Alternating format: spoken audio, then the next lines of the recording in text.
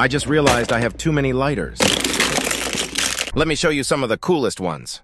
This one is the Premium Torch, one of the best sellers and honestly my favorite lighter. The quadruple wick that powers the lighter generates light and heat, making it a great lighter for many tasks, like lighting your way, burning a five of cubs, or a house. Another cool lighter is the poker lighter. It is thin and easy to carry.